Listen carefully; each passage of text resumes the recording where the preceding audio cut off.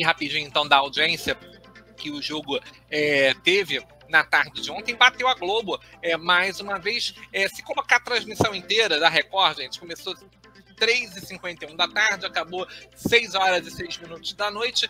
16,8 pontos e 34,9% de participação do share. Muita gente fica falando, ah, uma audiência baixa é, para um clássico como Vasco e Flamengo. Para os padrões da Record, muito alta. Agora, a gente tem que considerar diversos fatores para essa audiência do Campeonato Carioca. Né? Primeiro, que o campeonato é um campeonato fraco, né? um campeonato sem divulgação, é, sem repercu com pouca repercussão, vamos dizer assim.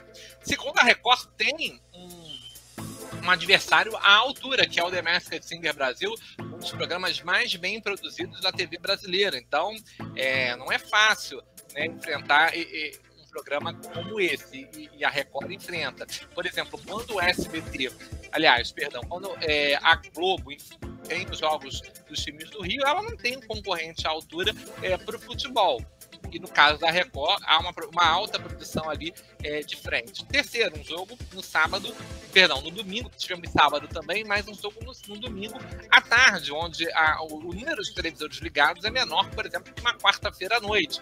Certamente, se fosse na quarta-noite, nós teríamos uma audiência maior. Então, são diversos fatores aí, é, mas que dá para considerar que foi uma alta audiência da Record. Se for considerar, galera, apenas a, a bola rolando, que foi de 4 e 1 da tarde às 6 e 1, a Record aumenta aí a sua audiência com 17,4 pontos e 35,9% é, por cento de participação dos televisores. É, um a cada três televisores do Rio de Janeiro, do Grande Rio, estavam sintonizados na tela da Record TV é, do Clássico. A Record atingiu mais de 2 milhões de pessoas tá, com é, o Clássico e venceu em diversas capitais do Brasil. Venceu na Grande Vitória, 16,6 contra 8,5 da Globo.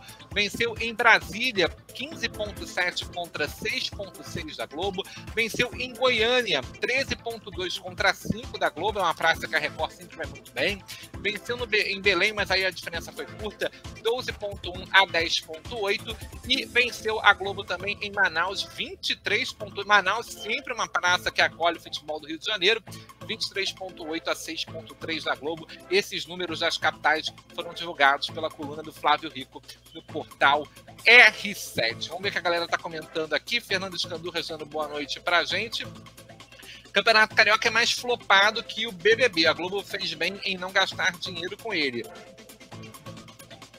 Na verdade, é, a Globo ela até queria esse campeonato, pelo menos para o Premier. No ano passado é, teve aquela. No ano passado, não, 2020, tivemos aquela treta com a, com a federação, tem um, uma, uma, ação na justiça, eles estão brigando é, a, a, até hoje. É, a fase final, sem dúvida, vai render, ainda mais que nós vamos ter os quatro grandes clubes nas fases finais, sem dúvida, vai render tanto para a Record quanto para o campeonato. Mas, de fato, a primeira fase é muito fraca. Pedro, apesar de liderar em clássico da cobertura da Record Carioca, no geral, flopou. Eu acho que é uma boa cobertura. A, a, cobertura da Record, mas é dentro do parâmetro Record. Não dá para é, medir um parâmetro da Globo, por exemplo. Até porque a Record nem tem uma estrutura e nem tem um histórico recente. Passado, sim, mas no recente não.